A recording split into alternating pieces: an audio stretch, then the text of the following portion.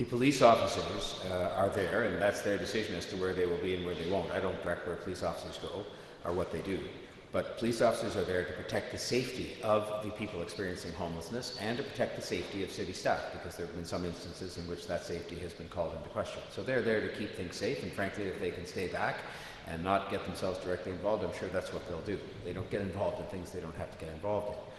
But with respect to uh, you know people characterizing it in the way that they that they are, I would just say this: the greatest favor I think we can actually do for the people experiencing homelessness who have issues uh, in their lives that I think most of us can hardly imagine is to, to have them come indoors to a safe place where they can get the kind of support that they need.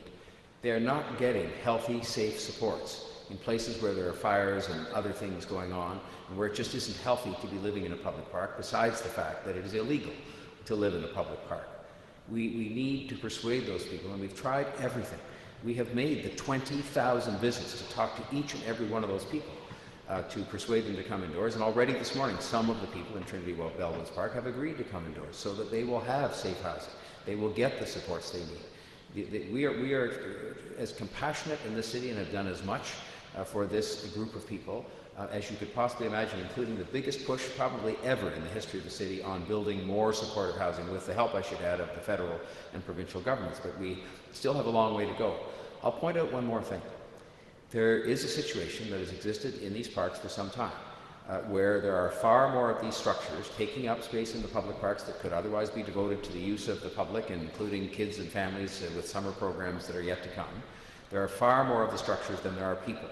And we have been obstructed, I will use that word, we've been obstructed and prevented from even taking the empty tents, empty tents that are in no use or empty structures that exist in the park which are not supposed to be there, we have been prevented from taking those out.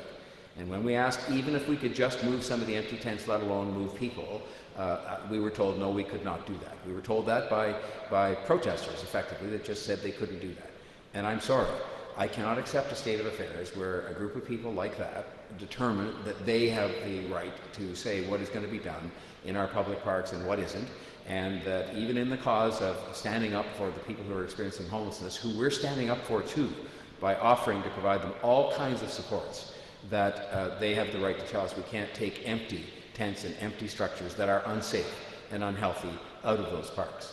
So there does come a time when the enforcement people have to make their own decision as to when they have to take some action to uh, say that we can't let this situation continue because of the fires, because of the threats to safety and health, and they have done so this morning. And I think they're doing it in as measured and balanced a way as they can, and I support uh, that action, and I hope that people will cooperate with that and decide that it is time uh, to take a step other than just having the status quo uh, stay in place forever and ever uh, with, with, with dozens and dozens and dozens of tents and structures empty sitting in those parks.